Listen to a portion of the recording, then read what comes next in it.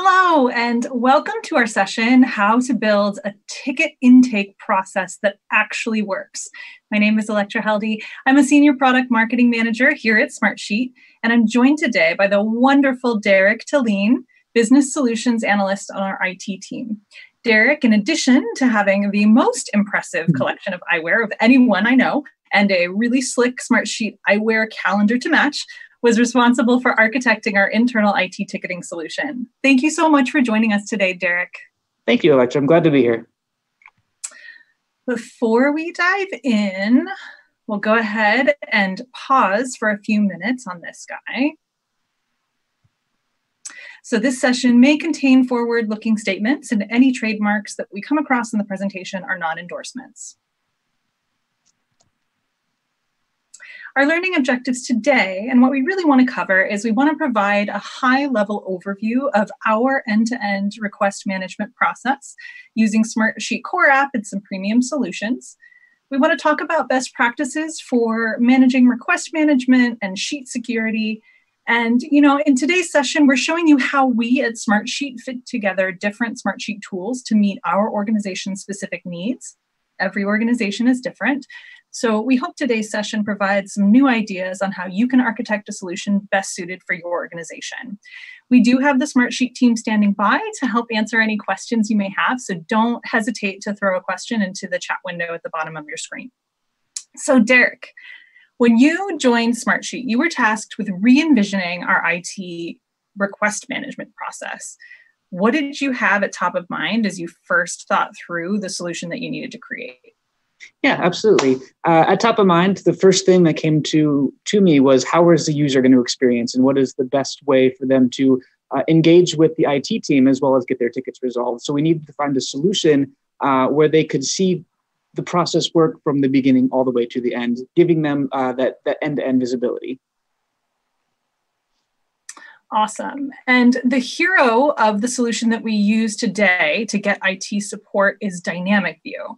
So, for those folks who need a bit of a refresher, Dynamic View is a premium add on that enables you to share just sections of your sheet or report without having to share those individuals to the source item.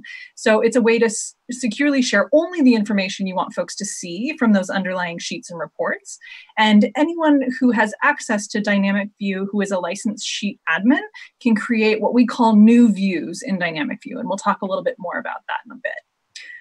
So, Derek, walk us through at a high level how the IT ticketing solution you came up with works. Sure, absolutely. So, dynamic view is you can think of it like a layer that goes on top of a sheet. This can connect to a sheet or a report. Um, so, we connected that to our IT ticketing sheet in the back end.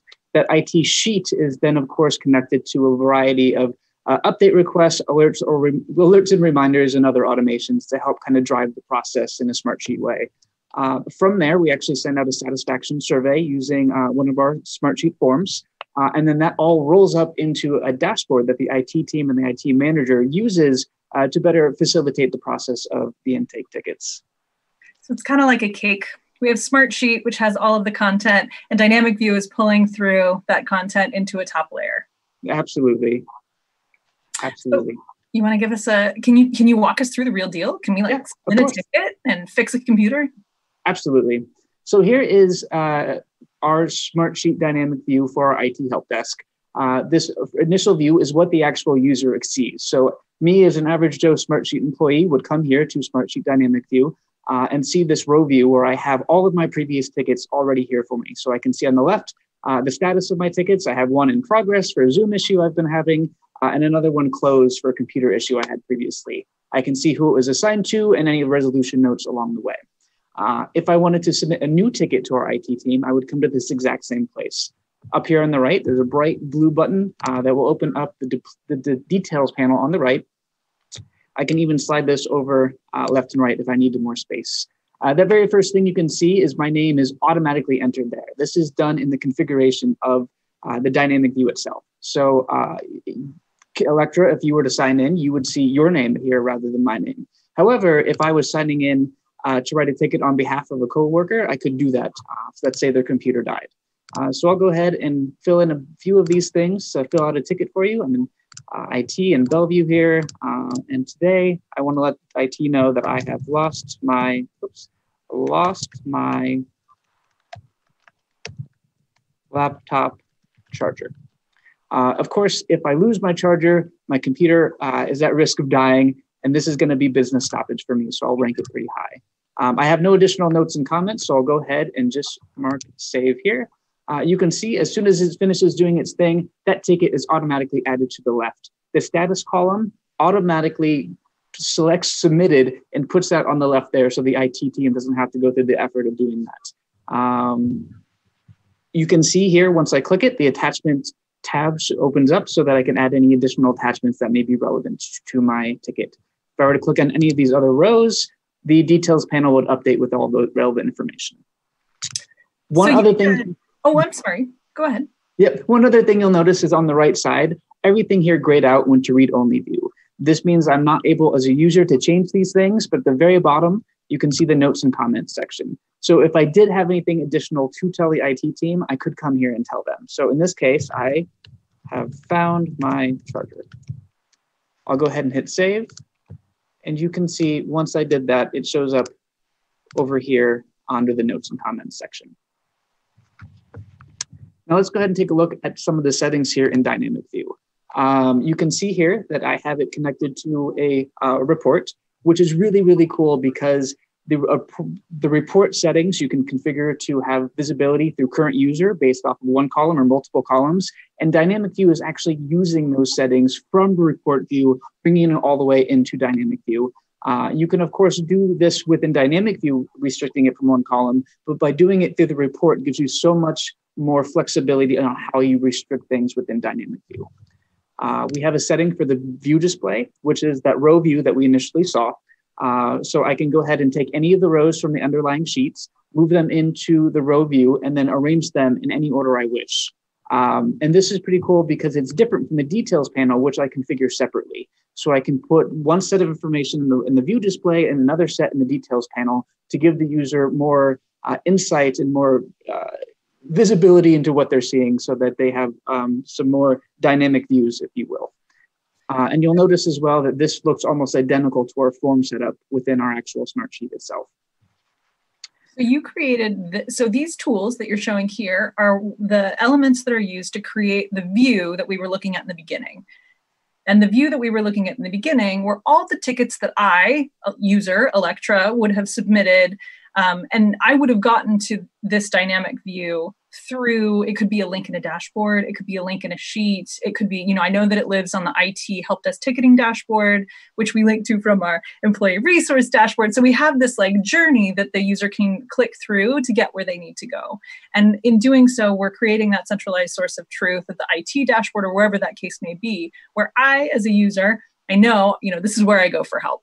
Yeah, absolutely. Yes. So it's pretty great because, like all things with Smartsheet, it is a deep LinkedIn. So I can take this link right up here. I could pop that anywhere I want, and the user can then find this exact dynamic view uh, from just about anywhere. Awesome. Well, show us a little bit what this looks like on the on your side. sure. So this right here is the actual uh, sheet itself that is con- eventually connected to the dynamic view.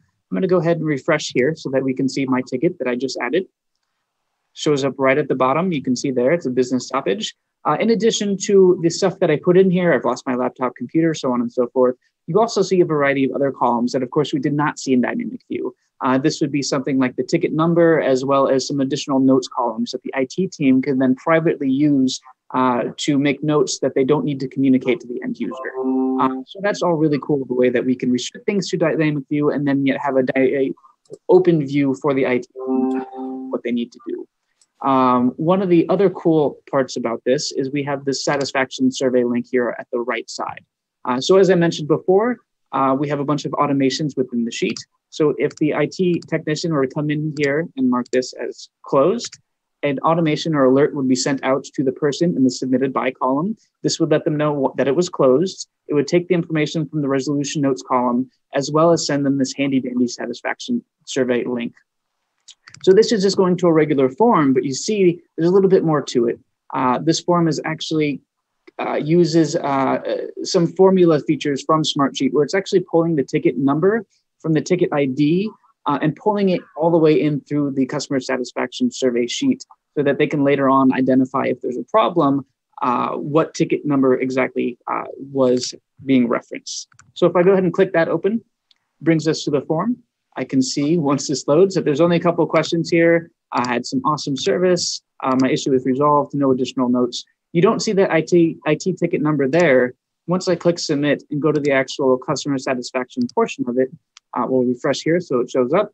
You can see that ticket ID, and you'll have to trust me, it matches exactly the ticket ID that uh, was referenced in that original row, which is pretty awesome. So the IT team can then go manage uh, any incidents, uh, and hopefully they continue to have uh, an awesome, create an awesome experience for all of our internal Smartsheet employees but beyond that right like pulling in that um, the id pulling in that information and having it all within our sheet here this is what's going to enable us to use some other formulas to calculate values that we can then push into our dashboard is that Absolutely. right Absolutely. So everything I showed you so far all then rolls up into our fabulous dashboard here. Once again, I'm going to go ahead and refresh so we can see um, some of these things update with the tickets that I just entered, although uh, it seems to be a little bit slow there uh, you can see all this information up here uh, about number of tickets opened, work stoppage tickets. Um, even over here, we have some information about uh, some time-based uh, data. So we can look at average time to close, average tickets closed per day. And we do this by utilizing another Smartsheet tool called Bridge, which actually pulls in that date information that we can then uh, use other Smartsheet premium apps to kind of pivot and make those uh, adjustments to calculate duration um, so we can look at that by average number of ticket, or we can even bring it down to the technician level. This dashboard also has a whole bunch of other stuff that the IT help desk team uses. Uh, we can see unassigned tickets, so the IT manager or whomever can come in here, uh, open up this report, uh, and then go assign tickets to who is ever relevant on their team.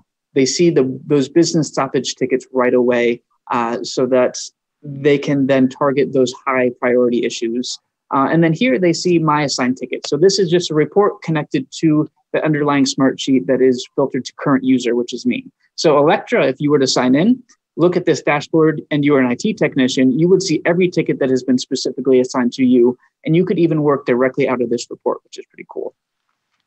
Uh, moving down the road. Yes. Oh, so we're using the report widget to pull in that report element here. And the way we're seeing my tickets or whoever the tickets are of the individual that's signed in is using the current user functionality. So when you're building your reports under the who, you have the option to create current or to select current user. Current user is what's going to whoever's logged in is going to see their tickets, um, and they're not they're not going to see anyone else's. They're just going to see theirs. Absolutely which is a really cool feature that it even pulls all the way through to this dash, dashboard view. Um, so that's a, a, pretty useful function. Um, so in addition to all of those reports and all of those additional things, uh, we have uh, details about uh, tickets, who they were assigned to, the number of the tickets that are open, how long it takes them to close on average, what departments they're going to.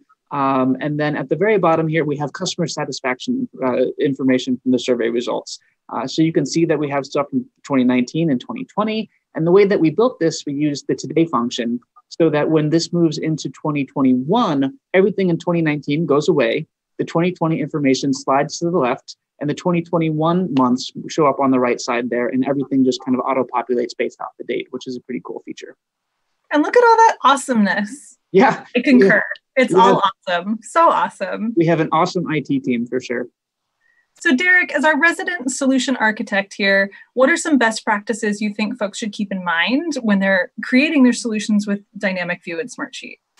Sure. Uh, some best practices are definitely to connect to a report uh, because the report not only enables you to do some of those uh, other filtering functions that I told you about, but you can actually connect reports to multiple sheets. Uh, in this instance, we actually have a bunch of archive sheets in the background because uh, we want to keep that main sheet uh, focused on current work so once we're done with, we mark those items as closed, they automatically use the move row function, move it to an archive sheet, um, and then that archive sheet's connected to the report. So me as the end user can go into my dynamic view here.